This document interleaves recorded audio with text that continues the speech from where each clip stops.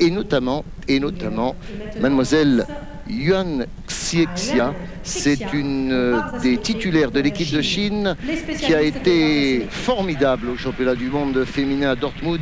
Et vous savez que les championnats du monde auront lieu au Japon. Et eh bien la Chine sera là avec euh, une école toujours éblouissante et notamment aux barres asymétriques. Et oui, ce sont des spécialistes à cet agrès d'élan. Ici, un premier franchissement dorsal 4 chefs. En tour soleil. Et double carpé en sortie.